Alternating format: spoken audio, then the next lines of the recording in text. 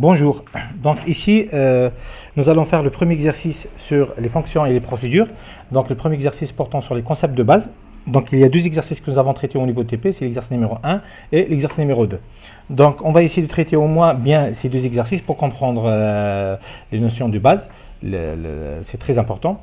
Donc, euh, le premier exercice, il vous donne un programme Pascal dans lequel nous avons déclaré trois variables entières A, B, C et aussi nous avons déclaré deux procédures, à savoir la procédure proc1 et la procédure proc2.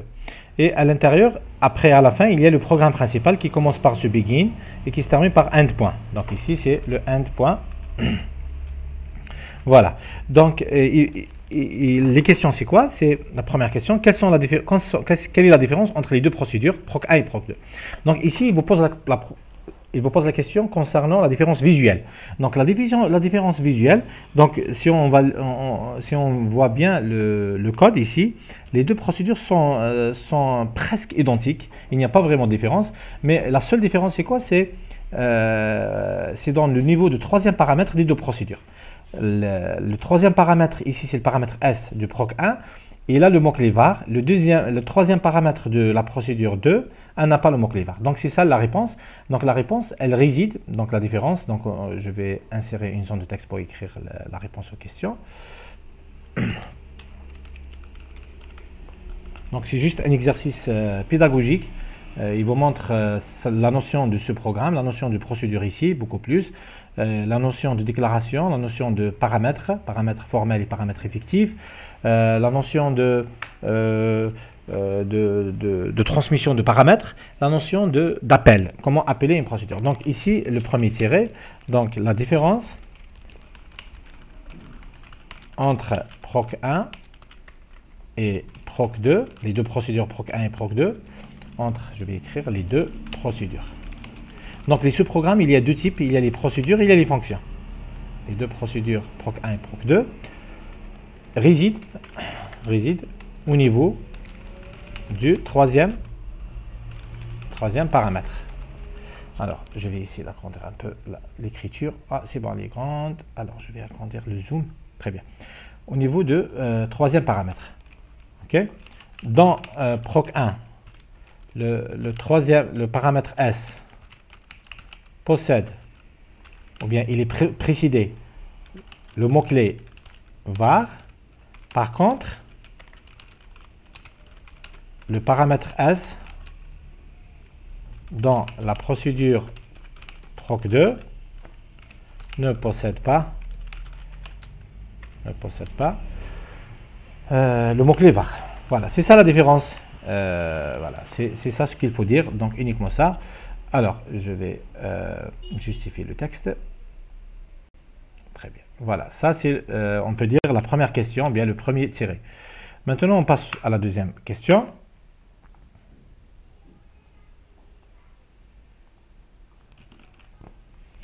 La deuxième question, quels sont les paramètres à passage par valeur et ceux à passage par variable? Ici, si vous voulez savoir le type de passage de paramètres, le type de transmission, par valeur ou bien par variable, il faut aller à la partie déclaration. Avant de continuer, on va décortiquer la structure du programme. On va essayer de... Euh, donc, je vais, je vais faire la partie réponse au niveau du deuxième partie, deuxième page. Pardon. Je vais le faire ici. Je vais insérer une zone de texte. Je m'excuse. Ici, j'ai pas bien préparé. Alors, la zone de texte ici, elle est petite. On va l'allonger. Très bien. Et je vais coller la zone de, je vais coller la zone de texte à l'intérieur de cette zone de, dessin. Je vais essayer de faire le trait. On va faire contour noir. Et comme ça, je peux déplacer. Très bien. Donc ça, c'est la partie réponse. On va faire ça, c'est les réponses. Et ça, c'est... Donc je vais déplacer ça ici. Pourquoi? Tout simplement, je veux, je veux commenter le programme. Je veux ajouter des clarifications pour le programme. Donc ici, euh, lorsqu'on vous pose la question sur le type de passage, ou bien les par, passages par... Euh, ou bien paramètres formels, paramètres effectifs, etc. Il faut savoir que le programme, il y a trois parties euh, du programme. Trois parties. Il y a la partie en tête, donc je vais la désigner. Donc on va essayer d'insérer ce type d'accolade ici. Donc ça, c'est, je vais essayer de faire, alors traiter un peu la chose. Je vais le faire en rouge, plus je vais faire l'épaisseur pour ça. Donc il y a ça. Donc je vais copier ce type de texte, ce type de, truc, de flèche. Pardon, ce type de flèche. Ah d'accord, il a copié deux fois. Très bien. Alors, j'avais laissé...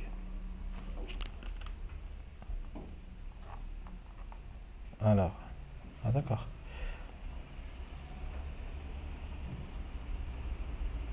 Alors malheureusement, ça va me prendre un peu de temps ici. Très bien. Donc ça c'est l'entête. L'entête elle est constituée du mot-clé var euh, et euh, éventuellement euh, la partie uses. Donc la partie uses c'est pour les bibliothèques. Donc je vais enlever les points. Gestion de points ici. Voilà, voilà. Donc ici, je vais déplacer ce point ici. Je vais ici, alors le format, l'épaisseur, je vais agrandir un peu. Très bien. Comme ça, ça devient plus clair. Donc ça, c'est quoi? C'est l'entête. Je vais prendre une zone de texte ici. Je vais écrire ici. Ça, c'est l'entête du programme. Voilà. Voilà, ça c'est l'entête du programme. Je vais le faire. Euh, alors, je vais faire avec une couleur, par exemple rouge, ici. Voilà. Ça c'est l'entête du programme. Maintenant, on va voir la partie déclaration. La partie déclaration, elle est où? Donc, euh,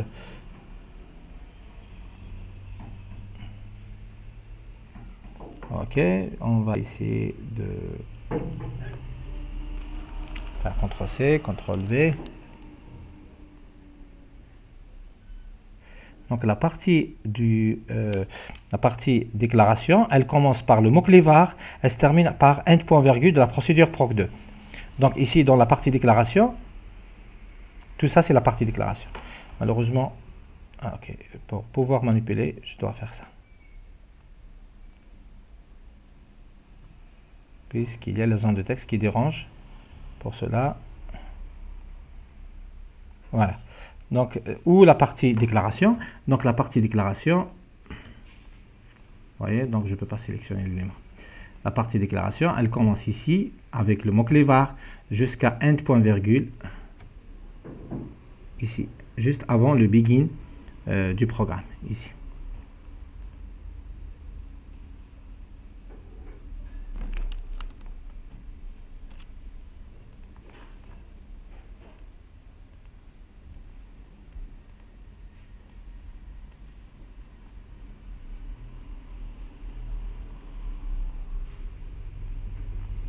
Je vais essayer d'insérer un espace vide entre ce end point virgule et le begin du programme principal pour voir la partie du programme. Très bien, donc voilà la partie déclaration.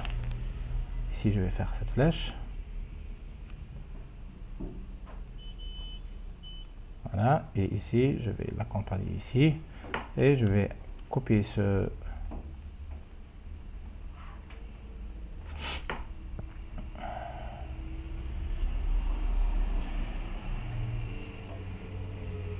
Alors.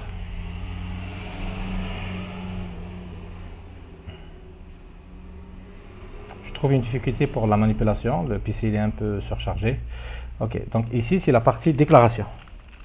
Partie déclaration. Donc qu'est-ce que nous avons déclaré? Qu'est-ce qu'elle contient cette partie? Cette partie contient euh, cinq objets. C'est quoi les cinq objets? Elle contient trois variables entières à savoir A, B et C. Ça s'appelle les variables globales. Donc ça, c'est les variables globales du programme, puisqu'ils sont déclarés juste après l'entête. Donc les variables qui sont déclarées juste après l'entête, ça s'appelle les variables globales. On les appelle, je vais faire ici, variables globales. Je vais l'écrire avec le bleu français. Variables globales du programme. Les variables globales du programme. Après, il, vient, il viendra dans la partie déclaration deux procédures, à savoir proc1, c'est celle-là, et proc2, c'est celle-là. Donc, une procédure commence par mot-clé procédure et ça se termine à la fin par un point virgule de, de son corps. Donc, une procédure, elle a la même structure que le programme. Elle a un en-tête, c'est procédure, le nom de la procédure, éventuellement les paramètres, et euh, les variables locales, et begin et end point virgule. Donc, ici, il y aura aussi deux procédures. Bon, procédures. Euh, à savoir proc 1 et proc 2. Voilà. Donc c'est ça la structure.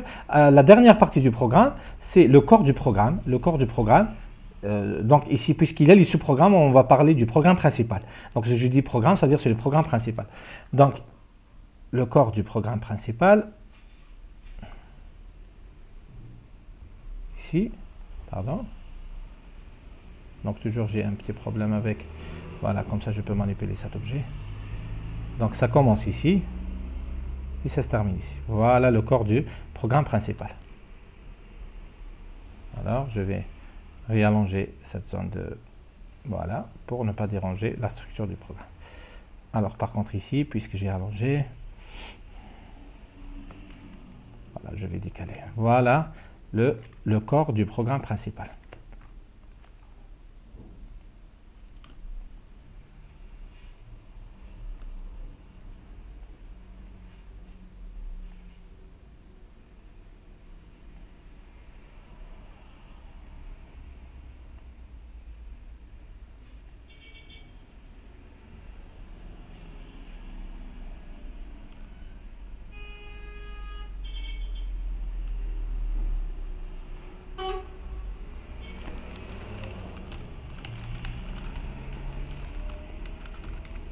Principal.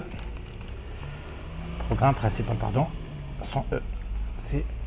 Donc voilà. Donc euh, en réalité, lorsqu'on exécute, euh, lors de l'exécution du programme, lors du déroulement du programme, lors de l'exécution du programme, ça c'est très important, on va le voir après dans un exemple de déroulement. Donc il faut commencer par la, cette partie. Il ne faut pas exécuter. Donc, si on pose la question, la première instruction du programme, il ne faut pas aller aux procédures et aux fonctions. Il faut, euh, il faut aller à cette partie. Donc, la première instruction, c'est A reçoit 10. D'accord? Donc, lorsqu'on, lors de l'exécution du programme, on commence par, on commence, on commence par le corps, le corps du programme principal. Voilà. Donc c'est ça l'idée. Donc, euh, donc j'espère bien que vous avez compris cette, cette, euh, cette, euh, cette taxonomie ou bien cette division, cette répartition du code. Ça, il faut le voir dans l'esprit, c'est-à-dire dans votre esprit, il faut voir ces parties. La partie en tête, la partie déclaration et la partie corps. Donc ici, euh, on était en train de répondre à la deuxième question, quels sont les paramètres passage par valeur et passage par variable? Je viens à la partie déclaration et je vois les paramètres formels. Ça, on les appelle les paramètres formels. On va répondre à ça après. dans les paramètres formels, on va voir ceux qui n'ont pas le mot-clé var, c'est passage par valeur. Ceux qui ont le mot-clé var, ça veut dire passage par variable. Donc, si, si, je, suis euh, cette, euh, cette, règle, proc1 possède deux paramètres passage par valeur, à savoir x et y, et euh, un paramètre par variable, à savoir s. Par contre, proc2, elle possède trois variables passage par valeur, x, y, s, et elle ne possède aucun paramètre par variable. Donc voilà, on va répondre comme ça. Donc ici, donc la deuxième question. Donc les paramètres à passage par valeur, par valeur, pardon, et passage par variable, par variable. Donc c'est ça, c'est ça la question. Donc ici, je vais faire quoi? Je vais décaler, je vais faire un tiret pour la procédure PROC1. Donc pour la procédure PROC1, nous avons deux paramètres par valeur et, un paramètre par variable. Donc x, y passage par valeur et s passage par variable. Pourquoi? Tout simplement, s il possède le mot-clé var. Par contre, x, y ne possède pas le mot-clé var. Donc ici, je vais écrire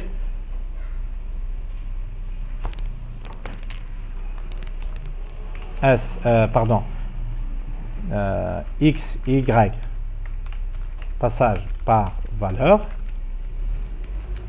et s passage par variable. Donc je vais écrire S est précédé, précédé, précédé par le mot-clé var. Voilà. C'est ça le c'est ça la différence. Donc euh, voilà. Donc x, y passage par valeur. x, y passage par valeur et s passage par variable. Très bien. Par contre, pour la procédure PROC2, pour la procédure PROC2, X, Y, X, pardon, X, Y et S, passage par valeur. Donc, il n'y a aucun paramètre passage par variable. Et aucun paramètre passage par variable. Donc j'espère que c'est clair, c'est très simple. Donc passage par variable, il possède le mot-clé var. Passage par valeur, il ne possède pas le mot-clé var. C'est ça, c'est ça la différence. D'accord? Donc, proc2, il n'y a aucun passage par valeur, euh, par variable. Toutes les paramètres sont par valeur. Par contre, proc1, il y a deux paramètres x, y par valeur et paramètre s par variable. Donc, c'est ça le, euh, c'est ça le, euh, comment dirais-je, la réponse à la deuxième question, ou bien deuxième tiré. Troisième question. Alors, troisième question, c'est quoi? C'est quels sont les paramètres formels et des deux procédures Et juste après, quels sont les paramètres effectifs? Donc, c'est quoi euh, paramètres formels et paramètres effectifs Je vais écrire la définition. Donc, paramètres formels. Paramètres formels sont les paramètres utilisés dans la déclaration de la, de la procédure ou bien la fonction. Donc, ce programme il peut être procédure ou bien fonction. Même les fonctions, ils possèdent les paramètres. Donc, les paramètres formels sont les paramètres utilisés dans la déclaration de la procédure. Ça, c'est... Euh, je vais sauter la ligne. Les paramètres effectifs... Paramètres effectifs sont les paramètres utilisés dans, euh, dans l'appel à la procédure ou la fonction. Donc voilà. Paramètres formels sont les paramètres utilisés dans la déclaration. Paramètres effectifs sont les paramètres utilisés dans l'appel. Donc il y a deux concepts. Concept de déclaration d'un seul programme et le concept d'appeler un seul programme. Donc si je viens ici pour les paramètres formels, puisqu'ici on, on, veut, on veut savoir les paramètres formels. Les paramètres formels. Donc je vais faire comme ça. Pour la procédure proc1, donc, je vais aller où pour les paramètres formels? Je vais aller à la partie déclaration. Donc ici, c'est très important de souligner le mot-clé ici déclaration. Ici, il faut souligner le mot-clé appel. Voilà. Donc dans la déclaration, dans l'appel. Donc ici, pour les paramètres formels, je vais, me localiser dans la partie déclaration. Dans la partie déclaration, je prends proc1. Les paramètres formels, c'est x, y et s. Voilà, tout simplement. Donc les paramètres formels, c'est x, y et s. Ça, c'est pour proc 1. Pour proc 2, pour la procédure proc 2, je suppose la même chose. On va voir. On va voir la partie déclaration. Ils ont la même chose. En réalité, ça n'a rien à voir entre ce x et entre ce x. Il n'y a aucune relation. Donc, le proc 2, c'est x, y, s aussi. x, y et s. Voilà. Ça, c'est pour les paramètres formels. Maintenant, on va répondre directement euh, concernant les paramètres effectifs. Pour les paramètres effectifs, on va aller directement à la question. Pardon. À la question 4. Les paramètres effectifs, qu'est-ce qu'il faut faire? Il faut aller au niveau de l'appel. Donc, comme nous l'avons dit tout à l'heure, au niveau de l'appel. Pour la procédure PROC 1, on va chercher l'appel. Voilà l'appel de la procédure PROC 1. Ça, c'est l'appel à la procédure PROC 1. Ça, c'est l'appel à la procédure PROC 2. Je vais faire un commentaire ici. Je vais copier le commentaire. C'est pour, juste pour vous aider à, la révision. L'appel appel, appelé PROC 1. Appelé PROC 1. Et ici, c'est appelé PROC 2.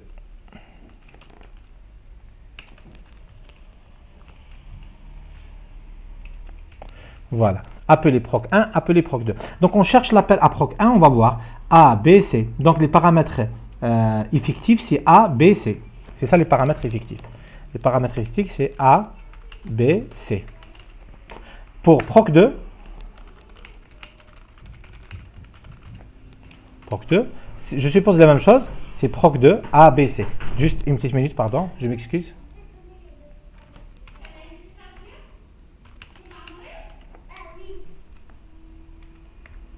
Je m'excuse, je reviens dans quelques instants. Donc, euh, pardon, nous continuons sur, euh, sur les paramètres effectifs. Donc, il y a les paramètres formels, il y a les paramètres effectifs. Donc, les paramètres formels, nous avons dit euh, qu'il euh, faut aller à la partie déclaration pour savoir quels sont les paramètres formels. Par contre, les paramètres effectifs, il faut aller à l'appel. Maintenant, j'ai une petite remarque. si je fais faire une modification au niveau du programme, par exemple, ici, je vais faire proc 1 ABC. Par contre, ici, je vais faire aussi proc 1 aussi. Voilà, ici, proc 1. Par exemple, je vais faire 5 3 et une autre variable, par exemple ici, c'est x, par exemple. Hein. C'est juste, c'est juste euh, euh, une modification. Donc, la réponse à la question, elle devient autrement. Donc, euh, pour ce cas-là, d'accord, pour ce cas-là, je vais faire une capture d'écran juste pour vous, pour vous laisser ça de côté. Donc, je vais faire MS Paint, donc, je vous explique le principe de, paramètre effectif. Le paramètre effectif, il est lié à l'appel. Donc, le paramètre effectif, il est lié à l'appel. Par contre, le paramètre formel, il est lié à la déclaration. Donc, pour chaque sous-programme, soit fonction, soit procédure, le paramètre formel, il y a une, euh, une seule version de paramètre formel. Pourquoi? Puisqu'il y a une seule déclaration de la procédure ou bien de la fonction. Si je prends proc1 et proc2 ici, pour proc1, toujours les paramètres formels sont x, y, s. Toujours pour proc2, ici, c'est x, y, s. Par contre, les paramètres effectifs, non. Pourquoi? Puisque les paramètres effectifs sont liés à l'appel. Si je prends cet exemple-là, je vais faire juste, euh, et, je vais couper cette image-là, ici. Je veux prendre ça ici. Juste pour vous clarifier, ici je vais revenir à la version euh, de tout à l'heure, proc 1, euh, pardon, proc 2 ici. Voilà. Je vais mettre ici juste une petite zone de texte. Alors, ici, une zone de texte, juste pour vous expliquer le principe de paramètre effectif. Par contre, paramètre formel, euh, il, est simple. Pourquoi? Puisqu'il y a une seule déclaration de la procédure. Par contre, pour le paramètre effectif, il n'y a pas une seule déclaration. Donc, si je prends ce cas-là, voilà. Donc pour ce cas de figure, pour ce cas euh, euh, d'exemple ou bien de programme, ça va changer ici la donnée ici. Ça va changer carrément. Pourquoi? Pourquoi ça va changer? Tout simplement. Donc ça n'a rien à voir avec la question en elle-même, puisqu'ici, bon, on a répondu. Donc ici, ça va changer carrément. Comment ça va changer? Je vais vous dire comment. OK Donc, pour ce cas-là, donc pour proc 1, je parle des paramètres effectifs. Les paramètres effectifs, pardon. Pardon. Paramètres effectifs. Pardon, j'ai fait une erreur. Voilà, ici, les paramètres effectifs. Pour proc 1, il y a deux cas. Le premier cas, le, le premier appel. Il y a deux appels à PROC 1. Donc, le premier appel. Les paramètres effectifs, c'est quoi? C'est A, B, C. A, B, C. Par contre, le deuxième appel. OK. Donc, je vais faire comme ça. Le deuxième appel. C'est quoi? C'est 5, 3 et X. Voilà, donc c'est vraiment différent. Donc, chaque appel, on indique les paramètres effectifs. Donc, le premier appel, c'est A, B, C. Le deuxième appel, c'est 5, 3, X pour PROC 1. Maintenant, pour PROC 2, pour la procédure PROC 2, tout simplement, il n'y a pas de paramètres effectifs. Pourquoi? Pas de paramètres effectifs. Pourquoi? Donc, pourquoi il n'y a pas de paramètres effectifs? Tout simplement, il n'y a pas d'appel puisqu'on ne fait pas d'appel à une procédure ou bien à une fonction, donc il n'y a pas de paramètre effectif. Donc voilà, c'est ça l'idée sur laquelle je veux mettre l'accent. Donc je veux mettre l'accent ici sur le fait que les paramètres formels sont liés à la déclaration, les paramètres effectifs sont liés à l'appel. Donc si vous avez un sous-programme euh, euh, pour lequel vous n'avez pas fait d'appel, donc il n'y a pas de paramètre effectif. Après, on va voir plus en détail, après, euh, le rôle des paramètres effectifs et le rôle de paramètres formels. OK? Voilà. Donc ici, on continue. Alors, donc on a répondu à la question numéro 4. Donc, et quels sont les paramètres effectifs bah, Après, il vous demande d'exécuter le programme en donnant le type euh, integer à la variable c. Qui se passe-t-il? Donc, avant de faire ça, Donc ici, c'est juste, juste la correspondance. Donc il y a ici une règle, c'est que euh, concernant les paramètres formels et les paramètres effectifs, c'est une règle très très importante.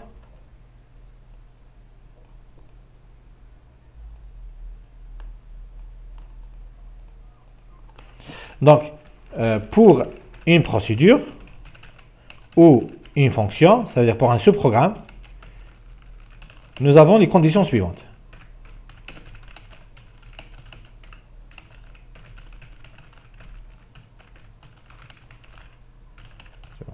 Premièrement, le nombre de paramètres effectifs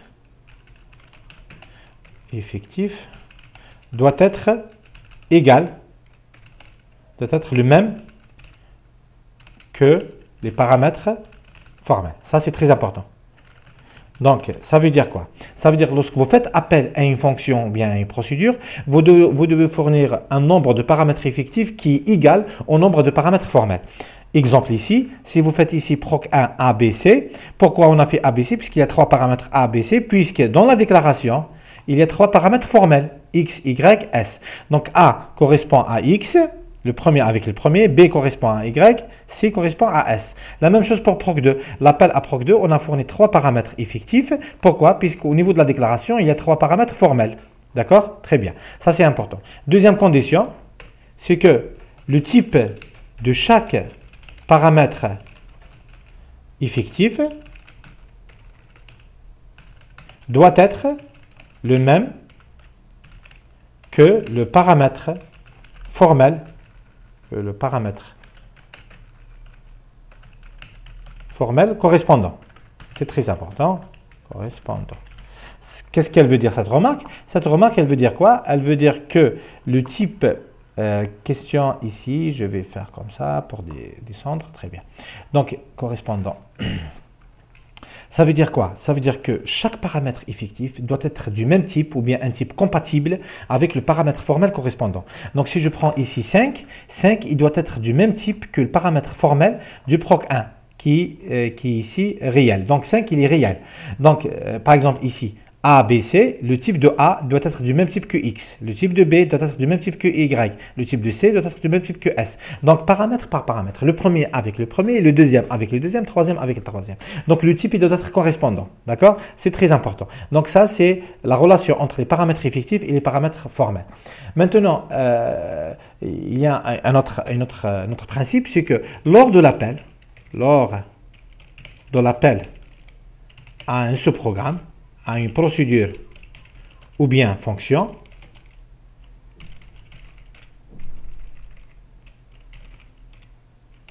chaque paramètre effectif est transmis, ça c'est très important, est transmis au paramètre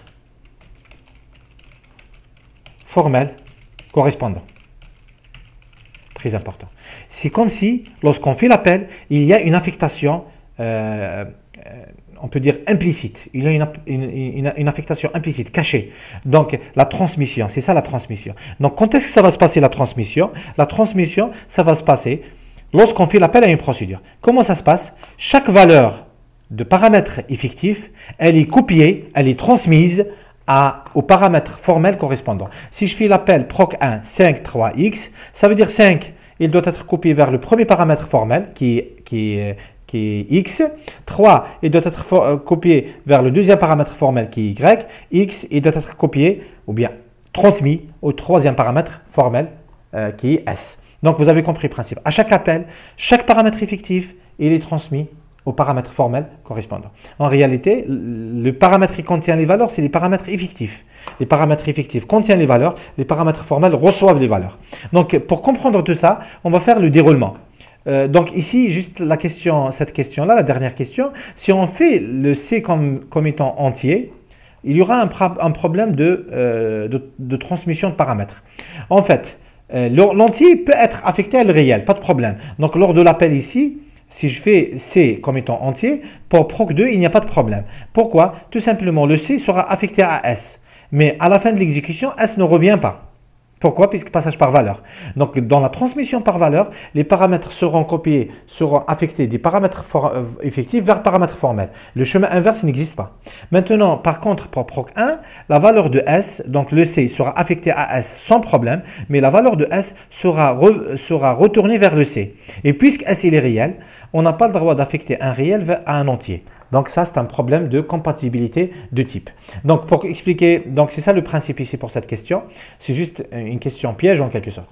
Donc euh, je pense maintenant, qu'est-ce qu'on va faire? On va faire euh,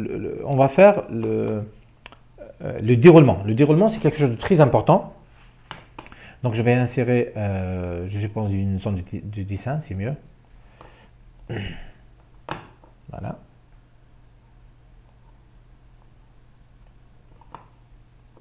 Donc ce programme n'a pas de variable d'entrée ou bien variable sortie, ça ne dérange pas. Donc euh, il n'y a pas de lecture. C'est pour ça dans le déroulement, il ne donne pas de valeur, puisqu'il n'y a pas l'instruction lire ou bien un read.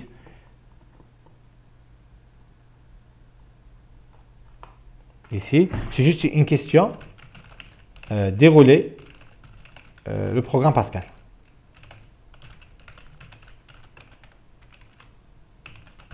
Voilà. Donc, pour euh, faire le déroulement, on va faire un tableau. Donc, cette fois-ci, euh, je vais juste, je pense, ramener le programme ici.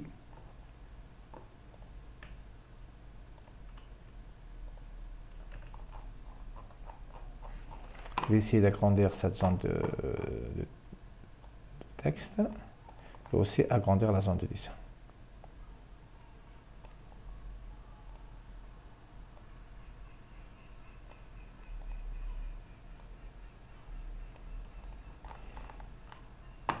Alors, je vais couper le programme à côté et on va essayer de dérouler. Alors, qu'est-ce qu'il fait?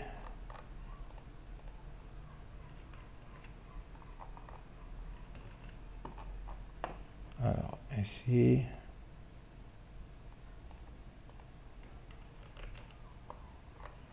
Il est où? Je vais passer ça en arrière-plan.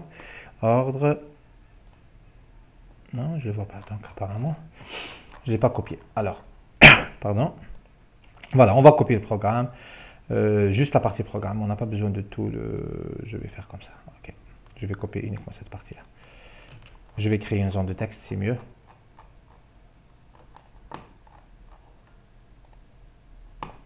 Insertion, zone de texte. Ah, ça, c'est pas ça ce que je veux. C'est juste une zone de texte. Voilà. On va voir est-ce que ça sera suffisante pour le programme.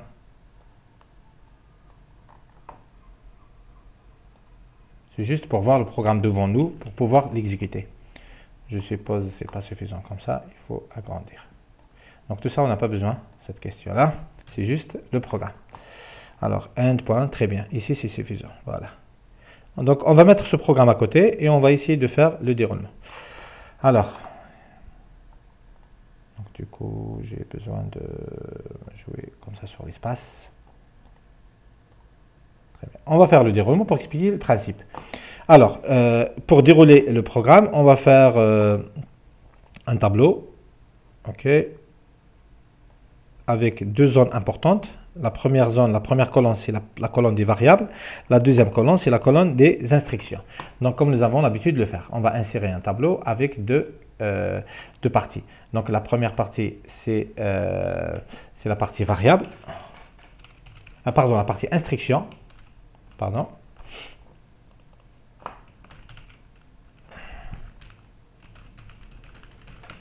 Et la deuxième partie, c'est la partie variable. Donc dans la partie variable, alors je vais mettre ça, ok, je vais essayer de minimiser un petit peu, c'est pas méchant, ça va être, c'est. Voilà, dans la partie variable, qu'est-ce qu'on va faire? Partie instruction, partie variable. Dans la partie variable, nous allons diviser cette zone, voilà, ici, en deux zones. La première zone ici variable, après ici, on va le diviser en deux. Euh, en réalité, on va diviser en trois. Euh, c'est quoi ces trois zones? Ces trois zones, c'est... Alors, pourquoi il ne fait pas? Non, ici, c'est pas comme ça. Voilà, comme ça. C'est quoi ces trois zones-là? Ces trois zones-là, c'est le programme principal. Principal. Programme principal. Et ici, c'est la procédure PROC 1. Et ici, c'est la procédure PROC 2. Voilà. Après, on va mettre la partie des variables. Donc ici, je vais mettre la partie des titres. Donc la partie instruction ici. Voilà. Maintenant, euh, pardon. Voilà. Et on va passer ici. Donc qu'est-ce qu'on va faire ici? On va tout centrer horizontalement et verticalement. On va mettre en gras euh, les en-têtes. Voilà, très bien. Maintenant, la partie des variables. Pour le programme principal, on prend les variables globales. Donc, le programme, il est à côté, justement. Voilà les, variables globales.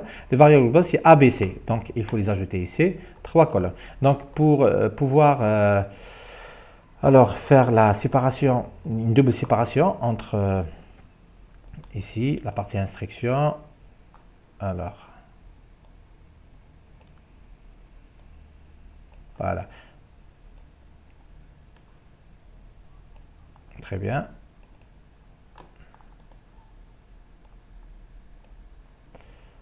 Pardon. Donc, il y a un problème de souris. Ça suit pas bien la souris. Ici aussi. Très bien, on va séparer les parties. Maintenant, on va faire une simple séparation à l'intérieur de chaque, euh, chaque zone. Programme principal. Donc ici, nous avons trois variables. la variable A, la variable b. Ici, pour proc 1, on prend les variables locales, pardon, il, est là le programme.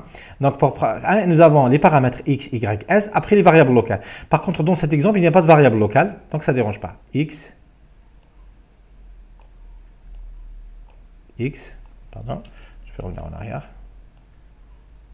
x, y, s. Alors, mon, PC, il est un peu lourd, il ne répond pas bien à la souris, alors... Il répond en retard au clic, voilà.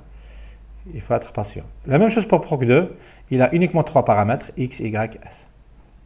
Maintenant, on va, euh, lorsqu'on exécute, on va comprendre le principe de paramètres formels, euh, paramètres, euh, dans paramètres passage par valeur, passage par variable, etc. Paramètres formels, paramètres effectifs, etc. Alors, très bien. Ici, c'est bien. Donc, je vais essayer de minimiser un peu la zone de proc 1.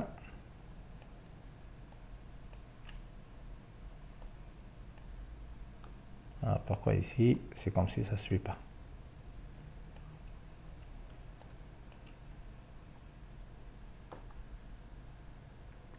C'est un peu lourd. Sinon, je vais laisser le parti euh, déroulement, je vais la laisser pour euh, une autre euh, séquence vidéo, sur le même exercice bien sûr, pour que vous compreniez le principe.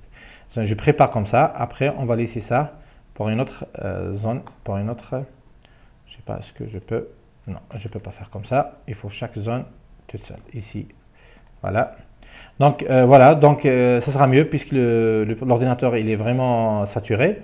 Je vais essayer de euh, comment faire. Donc je vais essayer d'alléger l'ordinateur. Donc on a, on, a, expliqué le principe. Donc dans la prochaine vidéo, on va voir l'exécution du programme. Donc j'espère bien que vous avez compris. bon courage et travaillez bien.